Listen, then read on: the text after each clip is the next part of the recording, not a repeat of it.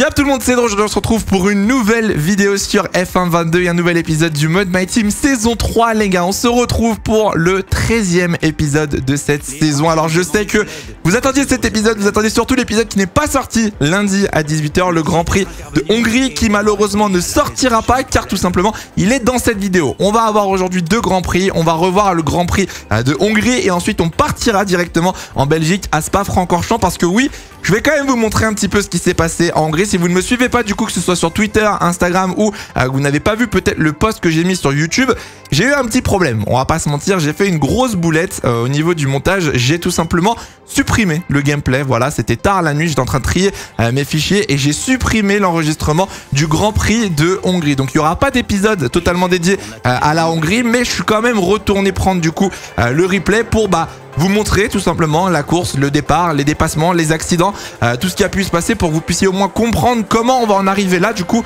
euh, en Belgique avec ce classement, avec tout ce qui s'est passé. Du coup, on retourne en Hongrie, cet épisode que vous n'avez donc jamais vu où franchement, j'avais pas un très bon rythme. Je vais pas vous mentir, les séances d'essai, j'arrivais pas à faire les programmes. La qualif, je me suis fait éliminer en Q2, partie 14e.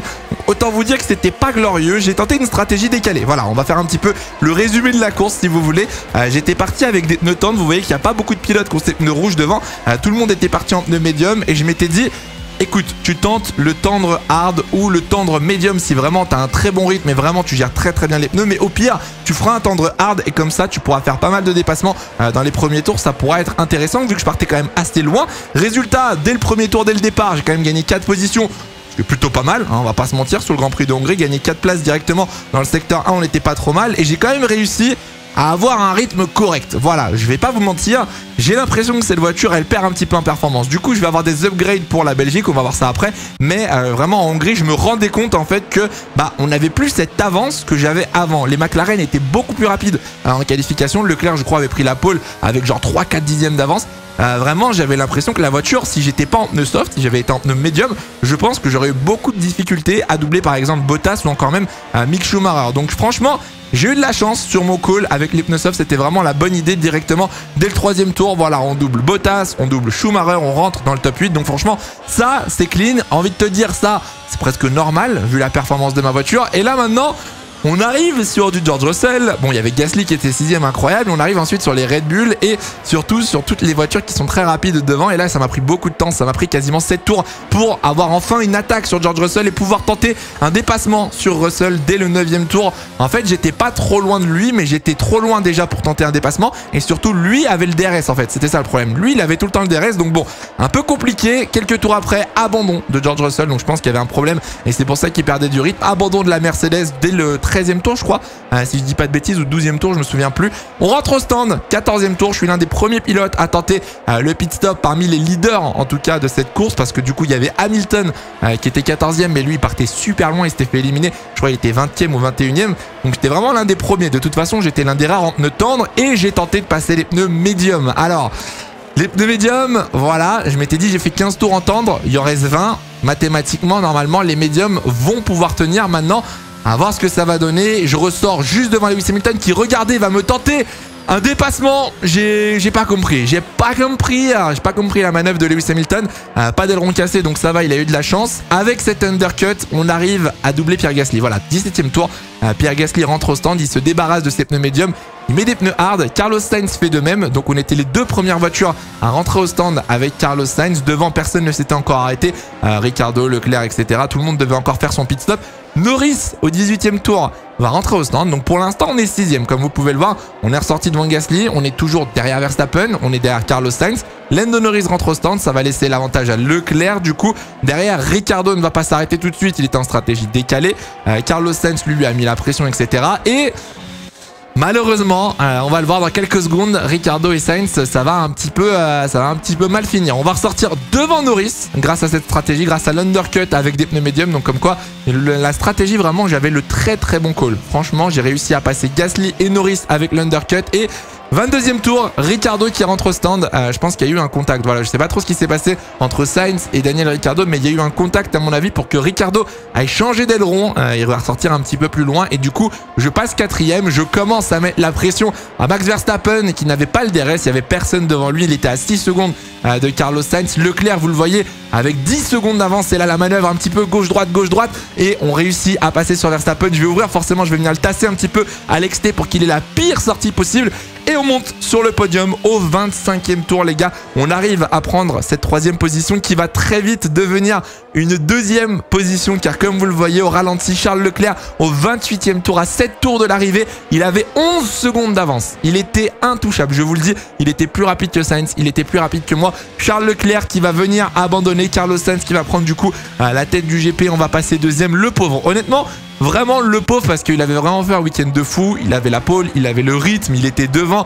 Enfin voilà, il avait vraiment tout fait parfaitement. Et du coup, victoire de Carlos Sainz, victoire de la Hydro Racing Team, doublée pour nous euh, en Hongrie. Du coup, on termine juste devant Verstappen. Vous allez voir, c'était chaud les derniers tours. J'ai eu très très chaud avec Ricardo euh, qui revenait très très fort avec des pneus médiums. Et du coup, j'avais Verstappen aussi qui avait tout le temps le DRS. Mais j'ai réussi à tenir. Du coup, on termine deuxième de ce Grand Prix de Hongrie. Voilà classement avec Norris cinquième.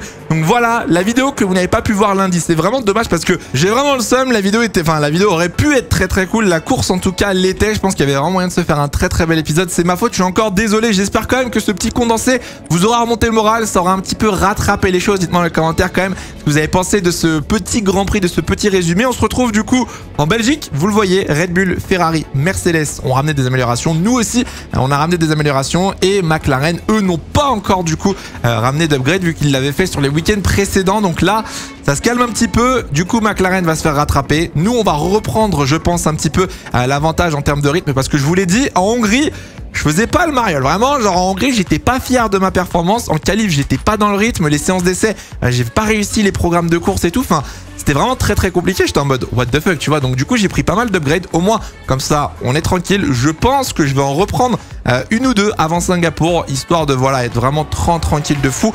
Et je pense aussi pouvoir pré-shot tout de suite, je vous le dis. Je pense qu'il y aura un changement de réglementation. Voilà, c'est je j'en suis pas encore sûr, j'ai pas encore tourné tous les GP de la fin de saison, mais je pense vu le développement des équipes qu'il va y avoir un petit peu un nerf sur certains départements. Je pense que au moins deux départements vont être touchés et que ça va rebaisser un petit peu les perfos, mais vous savez le nombre de points de ressources que j'ai. J'ai quasiment, je crois, 20 000 points de ressources, un petit peu moins. Je crois que j'ai 18 000. Donc franchement, peu importe ce qui se passera, on aura assez de points de ressources normalement pour tout racheter et on aura assez de points de ressources pour être la voiture la plus rapide, la voiture qui va dominer le, mode My Team. Enfin voilà, on aura vraiment une très très bonne voiture même en saison 4. Et du coup, la question se pose. La question se pose euh, de savoir est-ce que le mode My Team saison 4 en fait sera une si bonne idée que ça? Euh, Si dès le début de la saison 4 on a une voiture qui, mais quand je dis domine vraiment c'est ultra dominatrice, genre vraiment on a 5 dixièmes d'avance, 1 et 2 à tous les GP. Je sais pas si ça vaut le coup de push directement en 2023 une saison 4 en My Team. Peut-être que le mode carrière et une option qu'on peut réfléchir, le truc qui m'embêterait énormément, c'est que sur ce mode My Team, j'ai eu des transferts quand même ultra intéressants. Je suis désolé, mais Vettel, Joe chez Ferrari, euh, j'ai eu Leclerc qui a bougé, j'ai eu Norris chez Red Bull. Enfin, j'ai vraiment des transferts de fou. Donc j'aimerais bien un petit peu euh, trouver une solution pour cette saison 4, quitte à moto entre guillemets sacrifier, tu vois, euh, quitte à peut-être ne pas améliorer, enfin je sais pas, repartir d'un petit peu plus loin. Je sais pas, on peut simuler par exemple une banqueroute ou un problème de département, bref, des trucs comme ça. Donc dites-moi dans les commentaires ceux qui sont encore intéressés, forcément, parce que je sais qu'il y en a qui perdent le goût du My Team, c'est normal, mais ceux qui aimeraient en 2023 voir du coup soit en mode carrière, soit en mode My Team, euh, dites-moi un petit peu ce qui vous plairait, voilà, dans les commentaires. J'aime bien aussi faire un contenu qui vous plaît, c'est le but clairement. Donc voilà, je vais prendre un petit peu tous les commentaires en compte. Je me dis qu'un mode carrière aussi modé pour être ultra intéressant. Euh, du style bah, faire venir Audi plus tôt, faire venir Porsche une autre équipe, j'ai pas d'idée en tête ou quoi que ce soit. Donc voilà, pourquoi pas aussi partir sur un mode carrière. Enfin, il y a plein d'options. J'ai juste envie de voir un petit peu ce que vous, ça vous plairait en termes de contenu, My Team ou le mode carrière. Et comme ça,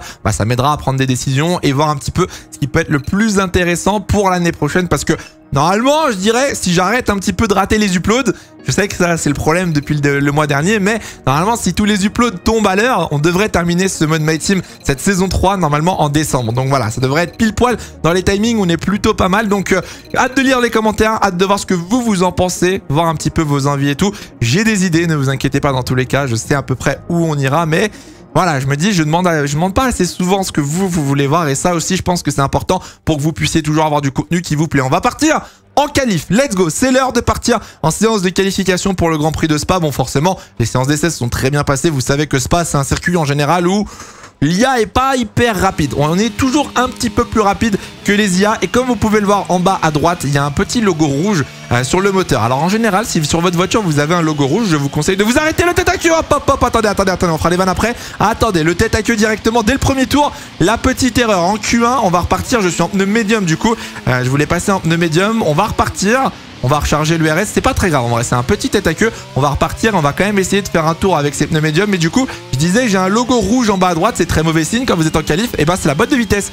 Euh, j'ai oublié de changer la boîte de vitesse tout simplement, voilà, je vais pas vous mentir. Donc petite boulette, on va prendre une pénalité euh, de 5 places sur le, pour le Grand Prix. Donc voilà, un petit peu le seum. En plus, je l'avais vu pendant les essais. J'avais vu pendant les essais que la boîte était carrément morte et je m'étais dit, faut pas que j'oublie, faut pas que j'oublie.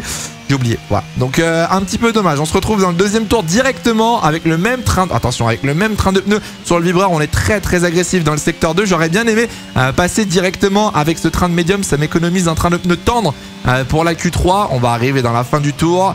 Et avec 22, 23 secondes, non 22 secondes quasiment, 21 exactement, 21 secondes d'avance, on va passer deuxième juste derrière Lando Norris. Alors attendez, parce que là pour le coup on va passer avec ces pneus médiums, on a fait un excellent tour. Franchement le tour était incroyable, Magnussen, Schwartzmann, Stroll, Drugovic, Tiktum, Latifi éliminé. Et pour le coup, en pneu médium, le tour était vraiment très très très solide. Et on se retrouve du coup en Q2 cette fois-ci avec un train de pneus tendres neuf. On va enfin pouvoir utiliser les pneus tendres et on va voir ce que ça va donner. Cette fois-ci, on va essayer de ne pas faire d'erreur et ne pas partir à la faute. Ce serait plutôt pas mal. Franchement, si en médium, j'arrive à être dans le rythme des pilotes en pneus tendres, il y a un gros gros shot à la pole position là. Franchement, il y a moyen d'être en première ligne, je pense, avec Carlos Sainz. Si on fait pas d'erreur, il y a moyen de faire un très très bon résultat. Pour l'instant, ça se passe plutôt bien dans le secteur 2. Petite correction vite fait. Pierre Gasly, meilleur tour en 41.9. On va voir si on est capable de battre ce 41.9. Je me suis un petit peu raté malheureusement. Freinage 41.7 pour Carlos Sainz, mon coéquipier qui descend encore là-bas. Je suis super loin. Je suis super loin, je suis en 42.8, je suis une seconde. Attendez, c'est une blague. Je suis une seconde derrière Carlos Sainz. Non, mais c'est une blague. Verstappen a fait mieux. Pour l'instant, on est en train de tomber, mais mon rythme en qualif est catastrophique. C'est fou. Lewis Hamilton est 16e, Ricardo est 12e. Attention, parce que là, pour l'instant, on a quand même 3 pilotes des top teams éliminés. Et on va essayer d'améliorer. Et on est en retard pour l'instant dans le secteur 1. Je suis en retard dans le premier secteur sur Alexander Albon. Je ne suis pas plus rapide que l'Aston Martin. Mais c'est une blague. Mais attendez, je suis en train de me faire troll ou ça se passe comment là? Comment ça, ils sont plus rapides que moi? Après, tu me diras, le secteur 1, c'est que de la ligne droite en soi. Donc c'est pas non plus très étonnant. On va voir si on est capable quand même d'améliorer. On va prendre le secteur 2 en violet. Ça, c'est une plutôt bonne chose. Normalement, ça devrait suffire. On va quasiment améliorer d'une seconde, un petit peu moins. Pour l'instant, c'est 7 dixièmes. Ah, attention, dans le dernier virage, à ne pas se louper. Et sur la ligne, oui, on va quand même améliorer. Oui, quasiment la seconde, elle est là. On a 9 dixièmes sur la ligne. On devrait passer, je pense, en Q3. C'est fait. On va passer avec le troisième chrono. Schumacher, Albon, Tsunoda, Ocon. Hamilton éliminé encore. Lewis Hamilton, c'est catastrophique cette saison. Hein. Lewis Hamilton qui était déjà 20e à Budapest, là il est 15e ça commence à être compliqué là pour, euh, pour Mercedes. Et du coup, je me retrouve en Q3 avec un vieux train de pneus. C'est un peu relou là, cette, euh, cette, nouvelle distribution des pneumatiques là en qualif, c'est un peu chiant. On se retrouve avec un train de pneus qui a déjà 17%. Autant te dire que le pneu, bah, je vais pas pouvoir faire un très bon chrono ou quoi, ça va être impossible. Et on repartira en toute fin de Q3 avec un nouveau train de pneus. C'est vraiment, faut que je fasse attention avec ces nouveaux pneus parce que se retrouve avec un pneu hard en qualif, mais quelle idée, pourquoi, quelle idée, quel enfer, qui, à quoi ça sert honnêtement je, Oh, là là, on se souvient un petit peu dans Pouron, attention. Je vois vraiment pas l'utilité d'avoir ce pneu hard en séance de qualification. Bon, pour l'instant, le tour est pas exceptionnel. Hein. Soyons honnêtes, je suis quasiment au ralenti. J'essaye de pas trop prendre de risques non plus. Russell en 42.1 pour l'instant pour la Mercedes. On va voir Verstappen qui améliore en 41.1. Oh là là là là, et le blocage de roue en plus dans le dernier virage. Bon, le tour va être catastrophique. Hein. Le tour va être catastrophique. Il n'y a pas d'autre mot sur la ligne. On est en 42-7. On est à 6 dixièmes du chrono de Russell. Leclerc s'est loupé. Charles Leclerc s'est loupé lui aussi. Et on va prendre un nouveau train de pneus tendre. Alors ouais, du coup, on a une seconde 8 de Sainz. Super. On est à une seconde 8 de Sainz. Sainz qui est le seul pilote en dessous de la barre euh, des 41. Et on va essayer d'aller le chercher justement. Il nous faut une seconde 8 si on veut aller chercher la pole position. Ça va être très très difficile. Mais pour l'instant, on a déjà 6 dixièmes. Vous le voyez dans le secteur 2. On est déjà bien en avance. Attention, parce que devant, il y a des voitures. Oh, on va peut-être avoir une aspiration là. Attendez, on va peut-être avoir une aspiration dans la fin du tour. On améliore quasiment d'une seconde. Attention dans pont à ne pas aller trop large. Une nouvelle fois, on a fait exactement la même erreur. On a perdu un petit peu de temps malheureusement dans Pouhon et on revient une seconde. Ça va pas suffire. Une seconde 2. On a le deuxième secteur en violet une nouvelle fois, mais je pense qu'il va nous manquer un tout petit peu pour aller chercher cette pole position. On va quand même se rapprocher. Je pense qu'on va être pas trop mal sur la grille avec une seconde 2 d'amélioration. Ça rentre au stand devant, donc on va pas être gêné. Et sur la ligne, avec cette seconde 2 toujours d'avance, à mon avis, on va remonter dans le top 5. Grand max, on va être pour l'instant Sixième, on est sixième, on est quand même à 5 dixièmes de mon coéquipier. Pole position de Carlos Sainz, donc les upgrades au moins fonctionnent, ça c'est une bonne chose. Ricardo deuxième avec les deux Red Bull 3 et 4. Un petit peu déçu là par contre, je suis derrière quand même Gasly là. Je suis derrière Pierre Gasly, c'est pas, exceptionnel comme tour de qualification. Donc bon, on va se rattraper de toute façon pendant la course, ne vous inquiétez pas. On va prendre une péna, j'avais oublié. Oh, on va prendre une péna les gars, et oui. Et oui, et oui, et oui, on va prendre une pénalité. Donc malgré cette sixième position, normalement, ça va être... Euh, c'est 5 places ou 10 places? J'ai oublié. Quand tu changes de boîte de vitesse, normalement c'est 5 places si je me trompe pas.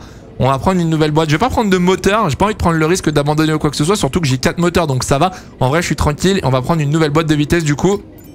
Et vous allez avoir euh, en bas de la grille. Attendez, quoi? Comment ça en bas de la grille? C'est combien de places de pénalité? On va découvrir ça tout de suite. Mais normalement, je devrais pas prendre tant de pénalités que ça. Nous sommes de retour en Belgique pour cette manche du championnat du monde de Formule 1. Il s'agit d'un circuit mythique sur lequel Ayrton Senna a remporté 6 victoires, mais c'est également ici que Michael Schumacher en 1992 et Charles Leclerc en 2019 ont décroché leur première victoire en Formule 1. Jetons un œil à la grille de départ à quelques instants du Grand Prix. Grâce à son chrono sensationnel d'hier, Carlos Sainz s'élance de la première place, suivi de l'Australien Daniel Ricciardo en deuxième position après sa belle performance. Regardons maintenant le reste de la grille. Verstappen, Norris, Pierre Gasly et Leclerc, Vettel, Zhou, Russell et Mick Schumacher, Albon, Ocon, Lewis Hamilton et Bottas, Magnussen, Stroll, Felipe Drugovic et Daniel Ticktum, Latifi, Tsunoda, Schwartzmann et Julien. Les feux vont bientôt s'éteindre, alors jetons un œil à la piste où les préparatifs battent leur plein.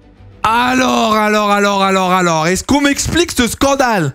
Comment ça? J'ai pris, frère, 12 000 places de pénalité, c'est une blague? J'ai changé une boîte de vitesse. Normalement, c'est alors c'est soit 5 places, soit 10 places, parce que je casse le parc fermé. Mais euh, à moins qu'à cause du parc fermé, normalement, je sois censé 22 places. J'ai envie de mourir. J'ai envie de mourir. Ah oui, donc c'est parce que j'ai cassé le parc fermé, du coup on part dernier absolument. Ah oui, parce qu'on peut pas partir des stands en fait, c'est surtout ça le problème. Du coup on va partir dernier les gars. On va partir dernier. Moi, dans ma tête, j'étais en mode, vas-y, ça va être 5 ou 10 places, tranquille, tu vois. Pépouze, pas du tout, du tout, du tout. Il va falloir faire un last to first, les gars. Il va falloir faire un last to first. Bon, on va partir en pneu médium. Tout le monde part en médium. On va faire un arrêt médium hard. Je pense pas qu'on tire les pneus médium jusqu'au pneu tendre. On va peut-être pas réussir à faire le back-to-back comme en Hongrie. Ça va être un petit peu dur. Mais on va voir. On va voir ce que ça va donner de toute façon devant tout le monde est en médium.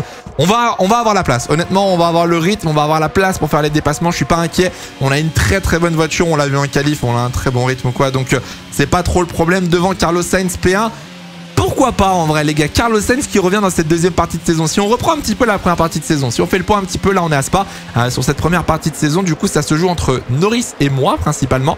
Euh, on a eu quand même Leclerc qui est dans le fight, on a Carlos Sainz qui est pas non plus giga méga loin en vrai. Euh, c'est encore rattrapable donc on peut encore potentiellement avoir un autre voire même deux autres pilotes qui se rajoutent à la bataille pour le titre. On peut encore d'ici la fin de saison avoir une petite bataille à 3 ou 4 pour le titre pilote. Ça peut être pas mal. On est toujours en combat, on est toujours en rivalité avec Red Bull pour le titre constructeur. Donc là-dessus aussi, il va falloir marquer des gros points parce que les Red Bull elles sont bien placées aujourd'hui. Le flop, hein, comme d'hab.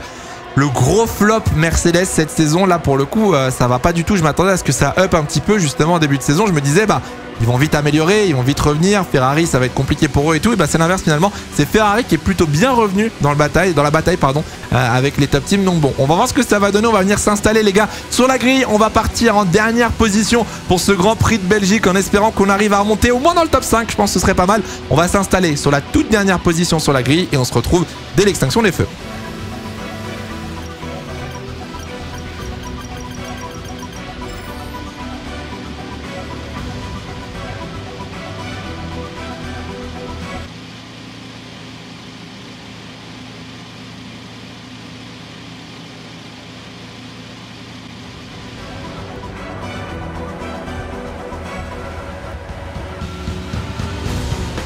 Et c'est parti. Le départ il est compliqué malheureusement. J'ai eu beaucoup de patinage. Là ça a été un petit peu difficile. On va essayer de se plonger directement à l'intérieur. On va essayer de se positionner. Attention le décalage devant Latifi et Schwarzman qui sont décalés le 4 de front 4 de front Bottas Magnussen Drugovic et Latifi. Et c'est Latifi qui va en profiter. Attention ça va être compliqué. Ça va être compliqué les gars. Il va falloir lâcher. Ils sont à 3 de front et c'est Latifi. Latifi qui va passer par l'exté oh là là là là dans le ready attention Magnussen et Latifi par l'exté Lenstroll qui va passer dans le ready oh là là c'est n'importe quoi. On va passer sur, euh, sur Drugovic pardon. On va passer directement peut-être aussi sur Kevin Magnus. va se... Oh, pop, pop, les décalages. Ça se décale de tous les côtés. On va protéger l'intérieur pour l'instant. Et devant Bottas qui a réussi à prendre sa position. Oh là là, ça a été très très chaud là. Le 4 de front à l'épingle directement et devant Magnussen qui perd du temps. Là, on est bloqué drapeau jaune. Les McLaren, les deux McLaren qui sont sortis. C'est terrible. Leclerc et Ricciardo qui se sont sortis l'accrochage. Qu'est-ce qui s'est passé? C'est incroyable. Drapeau jaune. Les deux McLaren qui sont partis à la faute incroyable dès le premier tour. On gagne deux positions du coup. On remonte déjà 14ème. Et est-ce qu'il y a eu un accident? Est-ce qu'il y a peut-être un aileron cassé? Et du coup maintenant Carlos Sainz qui s'envole Et oui Carlos Sainz qui prend une avance sur la minimap Oh là là là là, on va revoir, on va revoir ses départs, on va revoir ce premier tour. Et moi, j'aimerais bien passer là sur Latifi. J'aimerais bien. On est déjà revenu sur Hamilton, on est déjà revenu sur Lewis Hamilton. Le départ de Zinzin, départ de fou, les gars. Oh, j'essaye, hein, j'essaye de mettre la pression à Nicolas Latifi qui se décale et qui protège. Allez, on va peut-être pouvoir y aller là, peut-être dans le dernier virage. Au stop il y a peut-être moyen de tenter un dépassement sur Nicolas Latifi d'ici la fin du premier tour. Ce serait déjà pas mal. On va tenter par l'extérieur, on va se décaler. Et par l'extérieur, on va venir passer le coup de roue de Latifi. Le coup de roue Nicolas. Mais c'est un malade. Mais c'est un grand malade, Nicolas Latifi. À quoi il joue? On va tenter par. Oh là là là là, mais il laisse zéro espace. Il laisse zéro espace et il va dive bomb. Oh non, l'aileron cassé. Oh la, la touchette. La touchette. Le contact entre Hamilton et Latifi. Je me demande s'il a cassé son aileron, mais ça va passer. Mais c'est une blague. Latifi qui va passer sur Lewis Hamilton. Oh non mais les défenses et les attaques de Latifi c'est un scandale. Et Hamilton qui va peut-être tenter par l'extérieur il va être gêné. On va peut-être pouvoir décroiser à la accélération on va pouvoir décroiser et on va prendre la, la 13e position. Oh là là là là mais quel départ. Alors attendez parce que là on a quand même gagné 9 positions en l'espace d'un tour. Et on va peut-être même gagner une dixième place. No way. No way on va gagner une dixième place les gars incroyable. En l'espace d'un tour et quelques, même pas, on a gagné 10 places et la Tipeee qui va tomber, il n'aura pas le DRS de toute façon pour l'instant. Il va falloir qu'on s'accélère un petit peu. Pour l'instant, on est à moins d'une seconde d'Esteban. Donc tout va bien et on va revoir justement. On va revoir ce qui s'est passé. Alors, devant Carlos Sainz a réussi à garder la tête. Moi, ce qui m'intéresse, c'est les McLaren. Qu'est-ce que les McLaren ont bien pu faire, que ce soit Ricardo ou Leclerc, pour se sortir en sortant des combes? Alors, jusque-là, tout va bien. De toute façon, tout va bien parce qu'il y a la ligne droite et tout, donc c'est pas ici le problème. On a l'attaque peut-être de la Fefe Vettel qui essaye de passer. Alors, on revoit le départ de Sébastien Vettel. Il était 7ème, Vettel. Pour le coup, il va tenter, il va se glisser à l'inté. Ok, il va forcer un petit peu le passage sur l'AlphaTauri. Ça va pas passer. Alex la Red Bull qui prend la vitesse. Ok, donc là, oh là là là là là les IA, franchement, les IA rigolent zéro. Hein. À tout moment, avec Latifi, c'était pareil. À tout moment, ça se tapait le mur. On revoit Albon, Albon qui était un petit peu plus loin. Pour le coup, Albon il était derrière Russell. Alors Albon, j'imagine qu'il va faire un énorme dive bomb. Ouais, ok, tous les IA ont fait un dive bomb. Ok, tous les IA ont fait un giga dive bomb à ce que je vois. Donc là-dessus, au moins, il n'y a pas de surprise. Le décalage de Latifi, je m'en souviendrai. Hein. Latifi, vraiment au dernier moment, qui plonge à l'inté comme ça. Frère, j'en parlerai dans mon livre. On revoit mon départ. Alors déjà, j'ai eu beaucoup de patinage. J'ai eu beaucoup, beaucoup de patinage, beaucoup de mal à m'extraire de la grille. Et derrière, vous allez voir, on a d'abord Schwartzman qui se décale, puis Latifi aussi. Non mais Latifi, quel forceur Latifi, quel forceur, sérieux, ça a failli passer en plus, hein, c'est ça le pire. Hein. Ça a failli passer par l'exté parce que Bottas a eu la meilleure vitesse de sortie. Et du coup, Latifi lui est ressorti deuxième dans ce petit groupe de 4. Et pareil, Stroll hein, qui a essayé de me faire l'exté. Stroll qui a failli me faire l'exté dans le Rédillon, j'étais pas bien. J'étais honnêtement pas bien. Heureusement que l'Alfa Romeo l'a un petit peu bloqué. Et pareil, là j'avais plus de vitesse, du coup j'ai réussi à passer. J'ai eu un petit peu de chance, honnêtement. On va pas se mentir, j'ai eu un petit peu de chance. Et qu'est-ce qui s'est passé? Alors, on arrive justement au courbe. Et du coup, on a Ricardo. Oh, mais qu'est-ce qu'il a fait? Mais qu'est-ce qu'il a fait? Mais oh, mais qu'est-ce qu'ils ont fait? Mais qu'est-ce qu'ils ont fait? Donc Ricardo était le premier. Il a bloqué les roues. Oh non, il a sous-viré. Il a juste sous-viré en fait. Il a juste sous-viré tout simplement. Il a mis trop de coups d'axel. Enfin, il était trop rapide dans le virage. On va voir, mais je pense que Leclerc a fait la même. Je pense que Leclerc a fait exactement la même. Du coup, côte à côte avec une Ferrari, il met un petit peu trop d'axel. Il va, oh là, oh là là là là. Oh là là, le ridicule, le ridicule pour les McLaren, c'est terrible. Et du coup, elle repart dernière. Elle repart tout au fond de la grille. Maintenant, il va falloir doubler tout le monde. Et nous, on va essayer d'attaquer Esteban Ocon. On se retrouve au deuxième tour. On revient sur Esteban Ocon. On va pouvoir prendre la 11e position. On va déjà re-rentrer dans les points. Je vous l'ai dit, hein, franchement, on a un excellent rythme, c'était sûr. Esteban Ocon qui retarde le freinage au maximum. Meilleur tour pour Carlos Sainz. 44.5. Et à la réaccélération, peut-être qu'on va pouvoir se décaler. Pour l'instant, il n'y a pas encore de DRS activé. Il va l'être maintenant. À partir de maintenant, on va avoir le DRS activé. Et on va essayer de se décaler. Pour l'instant, Ocon qui protège, hein, qui continue à protéger à l'intérieur. Oh, ça glisse un petit peu. À la réaccélération, on perd un petit peu de temps. Allez, on va voir le DRS. On va attendre la détection. Et comme ça, on sera tranquille dans la ligne droite. On va pouvoir passer sans problème. On va passer sur Esteban Ocon. Est-ce que je peux avoir Bottas dans la ligne droite? Est-ce que je peux avoir Alteri Bottas? Ça va être à mon avis un petit peu difficile mais euh, on va se décaler. Non on n'aura pas Bottas. Il est trop loin. Il va falloir attendre un petit peu. On va passer sur Esteban et on va prendre la 11 e place. Let's go. On se rapproche du top. On revient vite. On revient très très vite. Hein, honnêtement, on revient très très vite. J'ai un rythme assez fou. On revient déjà sur Bottas et on va commencer à lui mettre la pression alors que Schwartzman est rentré au stand. J'avais pas vu. Schwartzman est rentré s'arrêter pour changer d'aileron. Et Bottas qui va me laisser le trou de souris, Bottas qui va me laisser le trou de souris. Bottas qui va me laisser passer, let's go. On rentre dans les points, on rentre dans le top 10, vamos. Et maintenant, il va falloir attaquer Schumacher, pardon, et Albon de... Non, mais quoi? Non, non, non, non, non! Non mais c'est une blague! Troisième tour! Non c'est une putain de blague, c'est une blague, c'est pas possible, c'est pas possible, pas dès le troisième tour! Le troisième tour les gars, c'est une blague! Abandon sur panne mécanique, mais je vais vriller. Mais je vais vriller, c'est une blague c'est une giga blague. J'ai passé plus de temps à faire le tour de formation que le Grand Prix. C'est terminé, troisième tour, l'abandon. No way. No way, mais c'est pas possible. Comment c'est possible d'avoir une casse aussi tôt dans le Grand Prix? Alors qu'en plus le moteur il est neuf, vous l'avez vu avant le début de la vidéo. Vous l'avez vu, le moteur il était quasiment neuf, j'ai juste changé la boîte de vitesse.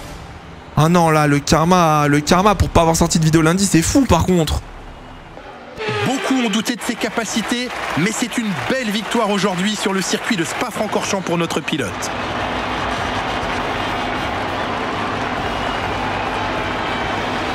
D'après vous, Nicolas, qu'est-ce qui lui a permis de sceller cette victoire aujourd'hui?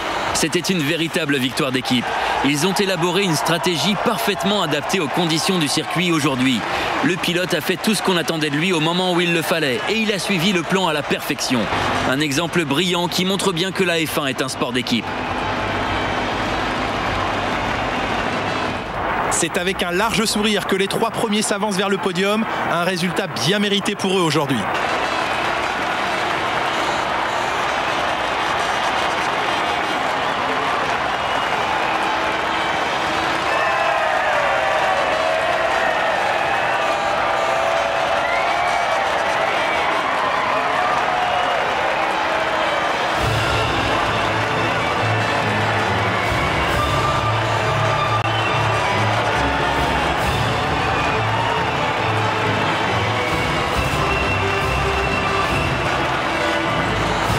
La victoire du coup de Carlos Sainz. Bon bah du coup on n'a rien vu de ce qui s'est passé. Je sais pas qui a doublé quoi, quelles ont été les stratégies ou quoi que ce soit. Victoire de mon coéquipier Carlos Sainz qui va terminer du coup devant Verstappen et Norris. Bon j'imagine qu'il n'y a pas eu beaucoup de dépassements finalement. Euh, Gasly va terminer quatrième. Leclerc pardon. Leclerc est remonté cinquième devant Guan et Vettel. Alors j'aurais bien aimé voir la course des McLaren honnêtement. J'aurais bien aimé voir si j'avais pas abandonné, s'ils auraient fait la même remontada parce que là quand même, fallait le faire. Mais GG, hein, GG, il n'y a pas de souci. Ricardo 8ème devant Ocon et Russell euh, qui complètent le top 10. Hamilton n'est même pas là, encore une fois. Hein. Hamilton, il est à la ramasse, le pauvre. Il est super loin. Hamilton, il termine 15ème. Il termine 15ème. Et du coup, il y a eu un deuxième abandon avec Kevin Magnussen. Alors peut-être, dans un monde parallèle, peut-être qu'il y a eu une safety car. C'est possible, j'avoue que c'est possible qu'il y ait eu une safety car. Ça a permis au McLaren de revenir au bon moment, au bon endroit, tout ça, tout ça. Mais j'avoue que je comprends pas trop. Classement pilote, bon...